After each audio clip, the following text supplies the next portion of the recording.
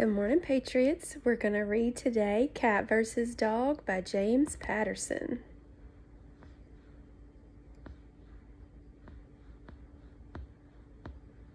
Give me just a second.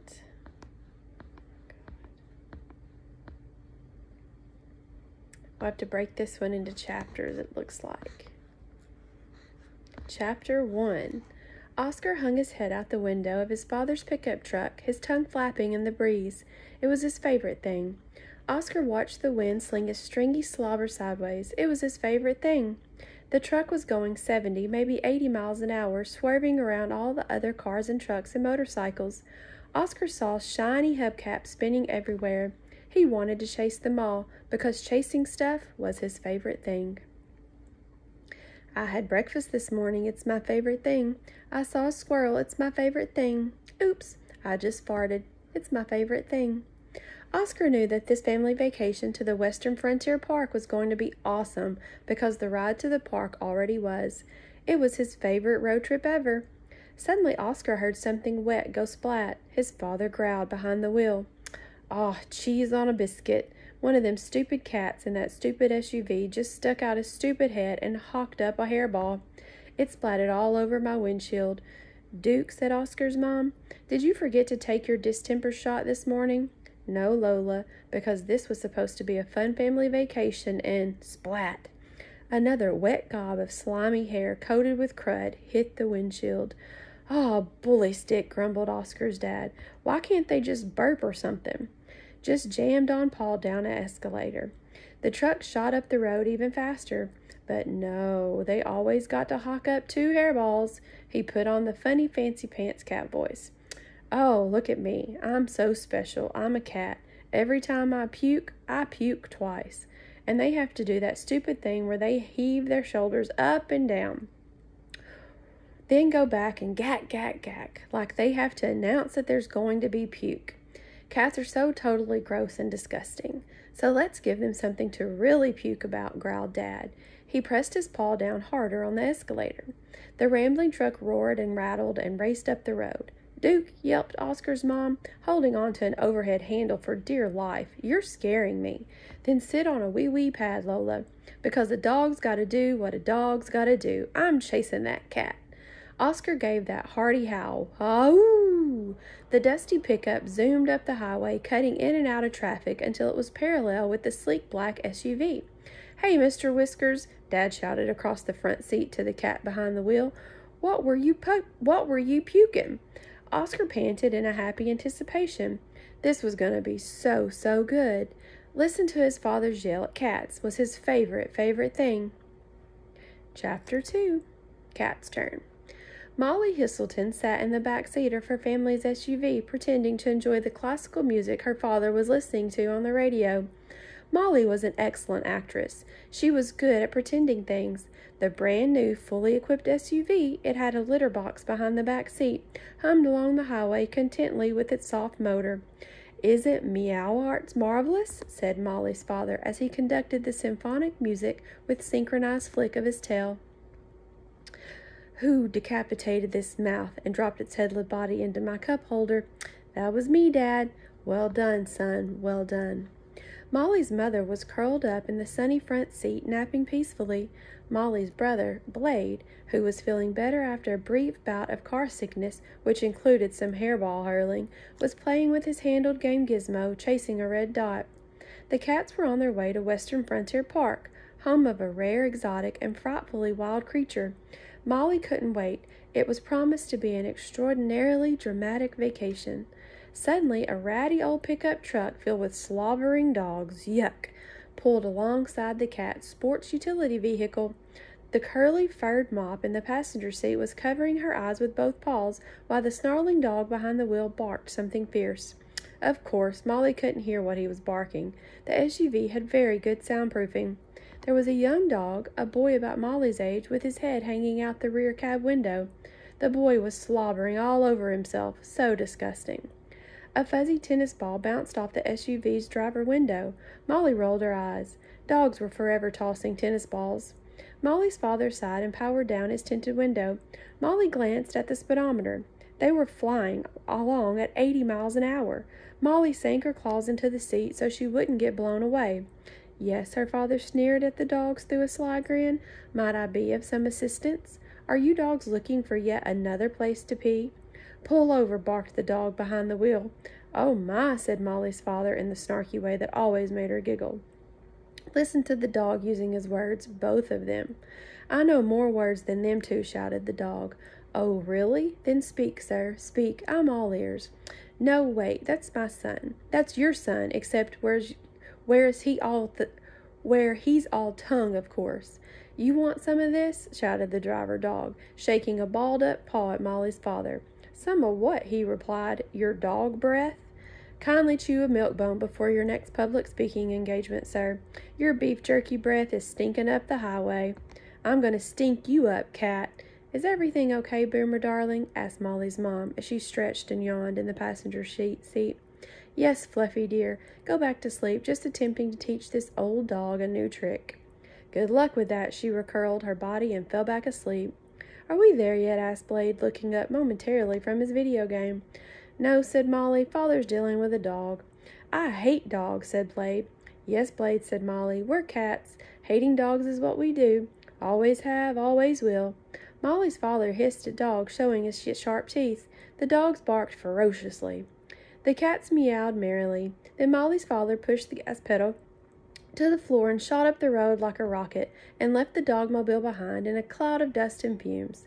Dogs, chuckled Molly's father. The more they bark, the less I care. Mm, father, said Molly, looking out the rear window. Yes, Dumpling, the dogs, they're gaining on us. Looks like they're all going down the road. Chapter 3 The two vehicles screeched through the front gates of the Western Frontier Park in a cloud of smoke and a shower of sparks exactly at the same second. Oscar's dad bounded out of the pickup truck, wagging his tail. Woof, hoo, in your face, cat, we beat you. Woof, fiddity doo dah, yelped Oscar. My dad's the best. Oh, yes, he is. Yes, he is. The cat driver slowly slink out of the SUV, daintily licking his right paw as if he hadn't, didn't have a care in the whole wide world. In what alternative universe does losing equal winning flea brain? he asked. Who are you calling flea brain, hairball? If the stupid fits, wear it. Well, at least I don't smell like a can of tuna that's been sitting in the sun all day. No, you smell like a wet dog. What's the matter? Couldn't wait till you found a fire hydrant? What about you, still peeing in a sandbox and trying to cover it up? Enough, shrieked the commanding voice of a majestic looking hawk owl who was wearing a park ranger uniform and riding a horse with antlers. Wow, said Oscar, he's a park hawk, a park owl. Yes, whispered his mother. The park is filled with many magical and mythical creatures. Bunch of weirdos, whispered Oscar Dad out of the side of his muzzle. He looks like a freak. I'm a she, said the hawk owl, and thanks to my owl half, I have a highly developed auditory system. Huh? said Oscar's father. She said she can hear very, very well, you dumb dog, shouted the cat driver as the rest of his family piled out of the SUV to preen in the sunshine, except the teenage cat boy. He was playing a video game and stayed inside the car. Welcome to the Western Frontier Park. FYI, my horse is actually part moose, said the park owl. Are you there yet? he yelled. He yowled, Yes, Blade. Then let's leave. I'm bored. Can you soar like a hawk, ma'am? Oscar asked the park ranger eagerly, which is how he asked everything. The hawk owl nodded. Best of both species. I'm hawk eyed and owl eared. His horse is weird too, Oscar's dad mothered. Whoever heard of a horse with antlers? Me, said the hawk owl. As I said, I have very good hearing. Chapter 4 My ancestors, you see, said the wise hawk owl, tucking her wings behind her back, realized something you cats and dogs have failed to learn. The world is filled with many fierce and wild creatures, especially here on the far edge of civilization. The dog family tilted their head in sideways and listened. The cats shut their eyes and yawned. Boring, whined Blade. The hawk owl kept going. My ancestors quickly realized that up against the ferocious beast who still roamed the dark forest of this wilderness, they must somehow learn to live together, and they would surely die alone, or they would surely die alone. And that, Oscar's dad whispered snidely, is how you end up with a freak's show riding a horse moose. The dogs panted out of a hee hee chuckle. I can still hear you, said the hawk owl, tapping the side of her owl head with the tip of her hawk wing. Good ears, remember? Whatever, muttered Fifi, who, like many teenagers, grew impatient whenever boring old people spoke wisely. Tell us when you're done, park person, said the tubby tubby. Tubby tabby blade. We're missing our naps. Well, pray tell is the cat section, asked the cat mom. We all need to bathe. You mean lick yourself? shouted Oscar's dad. Oscar howled with laughter. The hawk owl sighed. Oh, east is east and west is west, and never the twain shall meet. Huh? said Oscar's dad. It's poetry, said the snobby cat dad as his family climbed back into their SUV. Read a book sometime. Why read 'em when you can chew 'em? said Oscar's dad, leading the way back into the pickup truck. Oscar hopped into the back seat and stuck his head out the window again. What a shame, he heard the hawk owl lament to her moose horse. What a waste of our beautiful park. The enmity between your two species has caused this world so much grief. Who can forget the saga of the dogs dumping catnip into Boston Harbor, or the horrible battle of Gettysburg during Third War One? All creatures, great and small, have suffered because of this enduring cat dog feud that will never, ever end. That made Oscar so happy he wagged his tail. He was glad dogs and cats would never live together in peace. He didn't want to ever use a litter box or chase a red laser dot. Cats were dumb, and there was no way he would ever feel different about them. Chapter 5 Every morning for the next five days, Oscar did the exact same thing because dogs like routine. Bright and early, before the rest of the family, he had even crawled out of their dog beds. Oscar would bound out for his tent and give the air a good long sniff. Delicious. Dew mixed with clover with a hint of pine, sassafras, and mud. This park is paradise, he exclaimed, checking out the green fields, rolling hills, and deep, deep forest of the distant mountains. His tail was wagging to the right, which is the way it always wagged when he was happy. If it flapped to the left, first that meant he was scared. But there was nothing to be scared of about in the Western Frontier Park, no matter what that freaky old park ranger said. So many sticks to fetch, so many fields to romp through, so many places to poop. And the best part about the dog camp no cats. They had their own separate campground, thank you very much. It was way off somewhere in the east. There wasn't a scratching post or a dangling thing or a bag of catnip to be seen for miles. Just dogs and tennis balls and squeaky chew toys and bacon for breakfast, awesome looking obstacle courses for all the dogs who liked shepherding stuff. Oscar hadn't seen a cat for five full days, thank goodness. Off in the distance, Oscar could see a mountain that looked like a huge hooked nose with a droopy wart on one side. Or maybe it looked like a pile of mashed potatoes with some kind of kibble stuck into the peak. Or maybe it was a mountain made entirely of a chopped meat with a bone shaped dog biscuit poking out of the side. Yes, he was definitely hungry. Time for a dog's breakfast. He pranced across the open field, heading to the mess hall, which, because it was for dogs, was always very messy. As he drew closer, he could smell sausage on top of the bacon, and a fresh bag of beef jerky that the chef had just ripped open with his teeth. He picked up his piece and broke into a trot. Oscar was quite athletic. He was the star player of his school's tennis ball team. He was quite speedy, too. An average dog can run about 20 miles an hour. Oscar? Coach clocked him doing 27. He was also pretty agile. He might have to try out that obstacle course after breakfast, and then, of course, reward himself with a nap. He was just about to dash into the mess hall and stick his muzzle in a bowl of meaty mush when he had to dig in his rear paws and skid to a stop. He would have crashed into a sleek black SUV, the same SUV that had chased him into the park the day that they had arrived. Chapter 6 It was the same snooper, super snooty cat family. Oscar sat down and tilted his head to the right while the cat dad scampered down the SUV. Their eyes met. The hair and hackles on Oscar's back shot up. The cat dad hissed. Trust me, he said to Oscar with most disdain.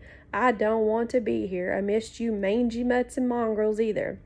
Oscar tilted his head an inch more to the right. He didn't really know what a mist meant. Plus, there wasn't a mist anywhere, no fog either. The cat clawed a long gouge into a fence post. When he made a splinter out of jagged wood, he used it like a nail to hang a sign. It was a missing cat poster. Find Molly today, it said. White fur, blue eyes, last seen chasing a butterfly. Hmm, thought Oscar. Why bother looking for a lost cat? Would anybody in the whole world miss one measly cat? There seemed to be a million of them running around, scaring birds, tormenting mice, and yowling at the moon. One less wouldn't matter. Plus, Oscar was on vacation. Dogs didn't hunt for lost stuff on vacation, except bacon. If a slab of bacon went missing, then every dog in the park would form a search party, sniff the ground, and track it out. The cat dad climbed back into the SUV, muttering, Waste of a sign. Dogs can't read. If they could, they'd be aware of themselves, just like all the signs say. The tires on the big black vehicle shot gravel backwards as it sped away. When it stopped blocking the mess hall entrance, Oscar could once again savor the delicious aroma of bacon grease mixed with sausage grease. He licked his chops. It was breakfast time. Oscar! oh, his tail wagged to the left because his dad was screaming his name, which was still scary even though his dad basically screamed all the time. Come here, boy, said the dad.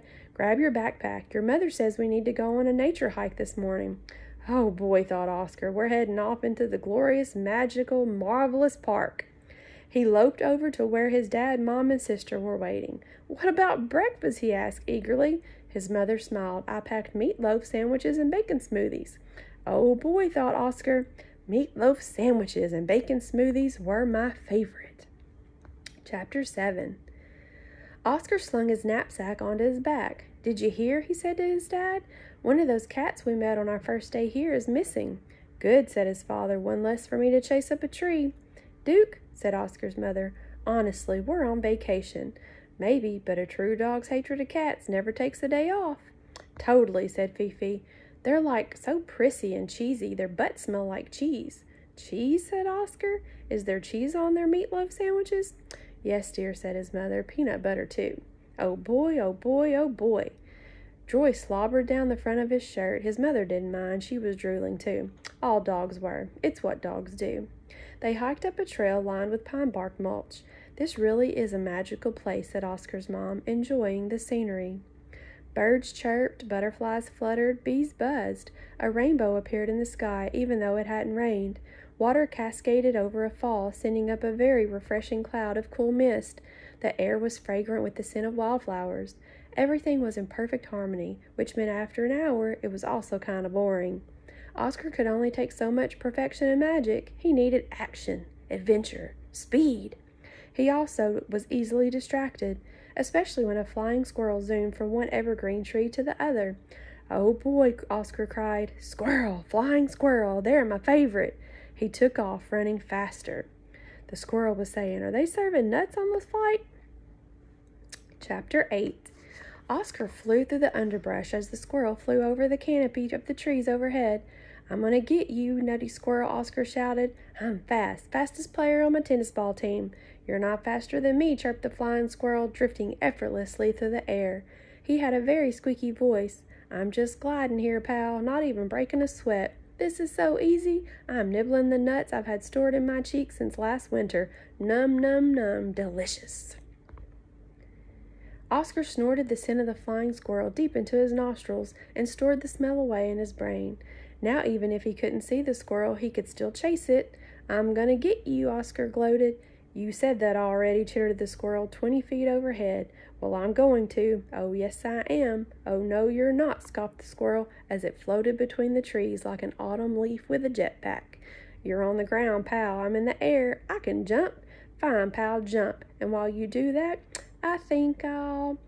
I don't know. I'll fly away. Oscar splashed across the shallow creek as the squirrel leapt from one tree to the next, spreading out his arms and legs to stretch its skin into a sail. Oscar's shirt was sopping wet. His pants were splattered with mud. This is fun, he huffed. Fun? laughed the squirrel. Ha! You're nuttier than a porta potty at my last family reunion. So, chasing squirrels is my favorite thing? You need a new hobby, Buddy. My name's not Buddy. Buddy's my uncle. I'm Oscar, and I can run 27 miles an hour. The squirrel kept soaring. Oscar kept running. Two hours later, the sun started setting. Oscar couldn't see the squirrel against the darkening sky, but he could still smell it. So he kept running for another hour. In his head, he did the math. I've been running 27 miles an hour for three hours. That means I've run, uh, uh, really, really far. In fact, he'd run so far he had no idea where he was. Oscar was totally and completely lost. Chapter 9 Oopsie, thought Oscar. He put on the brakes. His tail wagged. Then it sagged between his hind legs. He was scared. No, terrified. He'd never ever been lost before. Being lost was not one of his favorite things.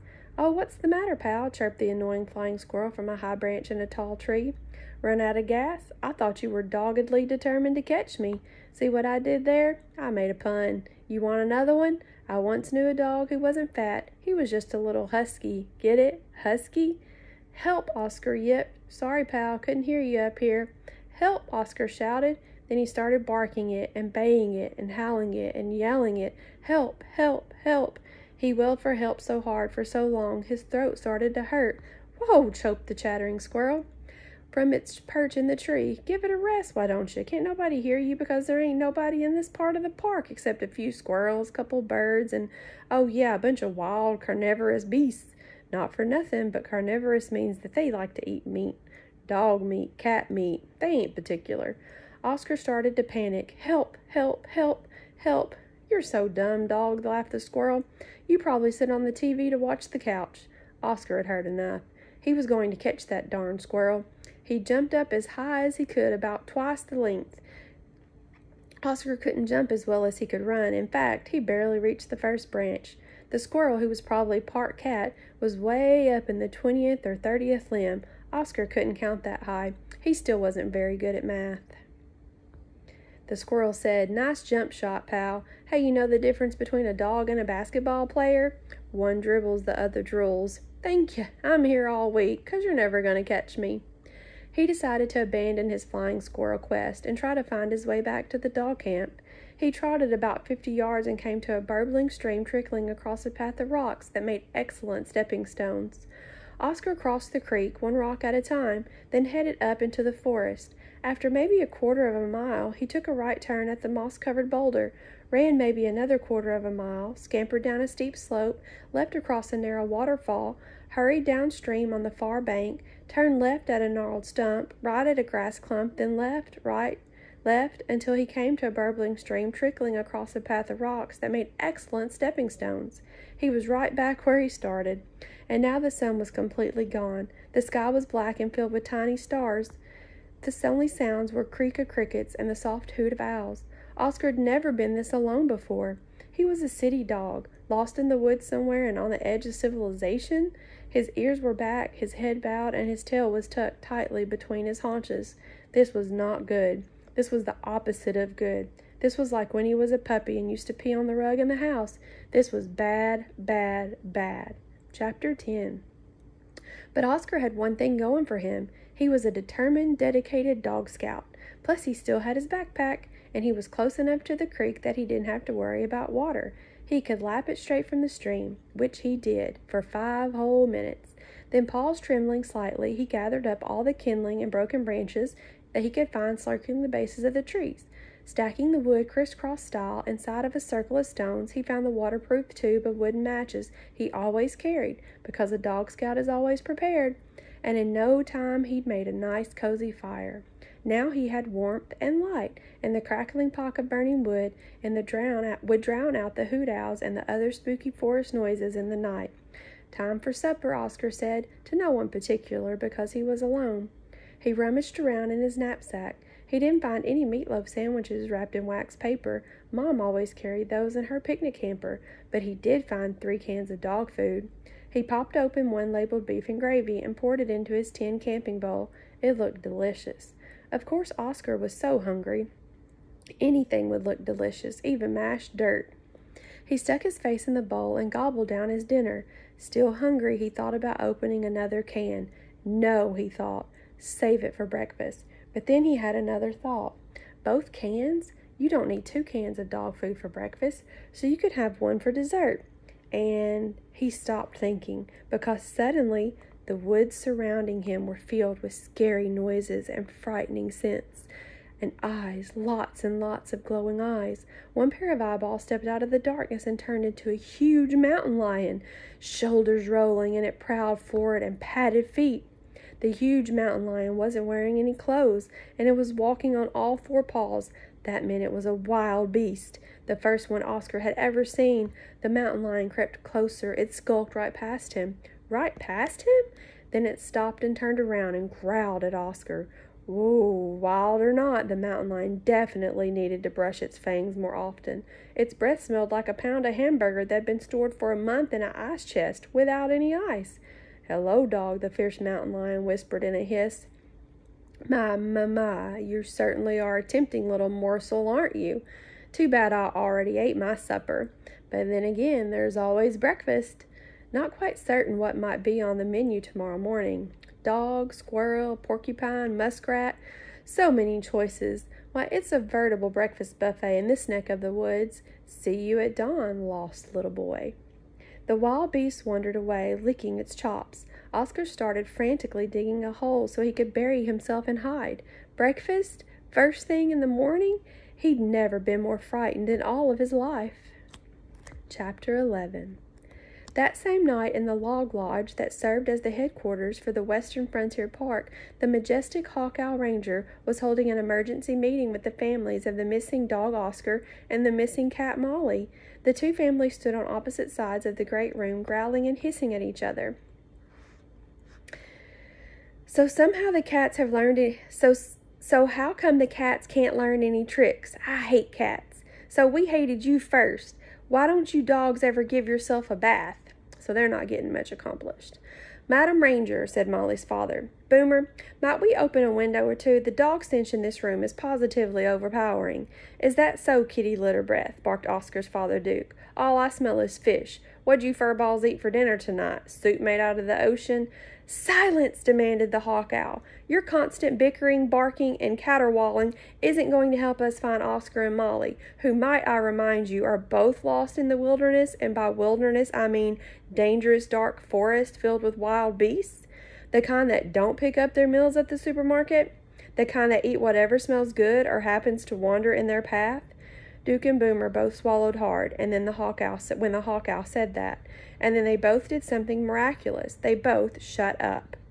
Now then, said the hawk owl, ruffling up her chest feathers and pacing back and forth. I wanted to let you know that I've called up our elite rescue squad, the finest hybrid hunters in the world, the grizzly wolf bears and the Lynedales. Four enormous creatures decked out in a rescue team geared marched into the meeting hall. The two grizzly wolf bears had the heads of wolves and the bodies of grizzly bears. The pair of Lynedales were half lion the top and half crocodile on the bottom. These creatures are combinations of nature's greatest hunters, said the hawk owl. The two grizzly wolf bears will patrol the forest, and the pair of Lynedales will search the park by swiftly swimming through its many water bays. My fellow hawk owls and I will provide air support and fly reconnaissance missions. One of the Lynedales, who seemed to be the leader of the rescue team, stepped forward. We will not return until we find your children, he proclaimed, shaking out his magnificent mane, even if it means getting my hair wet. Boomer and Duke stepped forward to shake the Lynedale's scaly hand. Thank you, good sir, said Boomer. Yes, said Duke. Thanks, pal. The noble Lynedale nodded. I can only imagine how you two must be feeling right now. I am a father, too. When the rescue team leader said that, all the two fathers could do was nod and sniffle, and when they were for sure the other one wasn't looking watched, they both sobbed. Chapter 12 Meanwhile, off in the dark wilderness, Oscar heard a rustling in the woods, and it was scarily close. Deep in his hidey hole, Oscar started to shake all over, and not just because he was cold. His campfire had burned out, and he was too terrified to search for more wood in the darkness. It was. It's the mountain lion, he thought. It's come back for me, a midnight snack. More rustling, twigs snapping, leaves softly crunching. Wait a second. A few thoughts lifted across Oscar's brain. Softly crunching? That mountain lion is huge. It couldn't softly crunch anything. Mustering all the courage he could, it wasn't much, his courage batteries were nearly drained. Oscar poked his head up an inch and peered over the lip of his hastily dug hole. He did indeed see a cat, but it wasn't the mountain lion, distant cousin to all the cats who lived in the city of Cattsburg. No, it was a young girl, maybe his own age. When she stepped into the moonlight, Oscar could see that she had white fur. Well, it was kind of off white because she was seriously matted and full of leaves and dirt and twigs. Her blue eyes sparkled like the ones in a stuffed toy cat that Oscar chewed through once. The cat was also missing the tip of her tail and the top of one ear. Wow, somebody really roughed her up, he thought. What in the name of Tug of Toys happened to her? Oscar wondered. He stuck his head up out a little higher. When he did, his metal dog scout neckerchief clasp dinged against the rock. It pinged like a high pitched bell. The cat's ears shot up. She saw Oscar and hissed, so Oscar did what any other dog in his situation would do. He chased after that cat. Chapter 13 Molly sighed once and then bolted away from the dung dog's ridiculous excuse for a campsite. Typical dog, she thought. Forgets all about the ferocious mountain lion prowling out about and chases after me instead. Dad is right, dogs are dumb with a capital D. You're just like my brother, Molly shouted over her shoulder, so easily distracted you have the attempt attention of a gnat. Yeah, said the dog from ten yards back. I sometimes worry about that, but not for long. I'm going to get you, cat. Oh, yes, I am. Molly ran with her head level. The dog's head, of course, would be bobbing up and down. Easier for the drool to drip off his flopping tongue while he was panting. I can smell you, barked the dog. Oh, really? said Molly, darting sideways into the underbrush. I could smell you from two miles away. You smell like a wet, dirty dog. Molly was swift and had more moves than the dog, but she had to admit the dog was fast. He was right on her tail and gaining. Molly wasn't really sure why she had ventured toward the dog's hiding place. Maybe because she hadn't seen another civilized creature for a while, not since she snuck off into the woods to work on her emotion emoting skills and ended up getting lost. Horribly, terribly, miserably lost. Molly wanted to be an actress. Actresses had to show a wide range of emotions something that was difficult for most cats. They usually went from cuddly to snarky and furious without much in between. Her father and mother didn't approve of Molly's dreams of being on the stage, or better yet, in the movies. Some cats made excellent actresses and performers, like Natalie Portman and Kitty Purry. In fact, Molly's favorite films all featured cats The Fast and the Ferocious, Whiskers in the Dark, Kitty Kitty Bang Bang. But Molly was a good girl. She always did what her mother and father told her to do, at least when they were watching. Waste the time her father had purred when she told him her dreams of being an actress. Train's dogs appeared in shows for other people's entertainment. Sensible cats appear only when they want to. Concentrate on your napping, dear, suggested her mother. It's the only skill you'll ever need. Plus bathing, her father would always add. Mustn't forget bathing. Feline hygiene is very important and then he'd sit down and lick himself, but Molly wanted more. Of course, at that very instant, all she really wanted was to get away from the stupid boy dog charging after her. Fine, she thought. This dog cat chase will end as dog cat chases ended ever since immemorial. She spotted a tree with two trunks split like a V and leapt nimbly between them. The dog, he was once again easily distracted. He saw a fluttering moth and stopped watching where he was going. That's when he banged his muzzle right into the tree trunk. So we're on chapter 14. He's chased her up the tree. They've forgotten about the lion. We're going to see what happens next.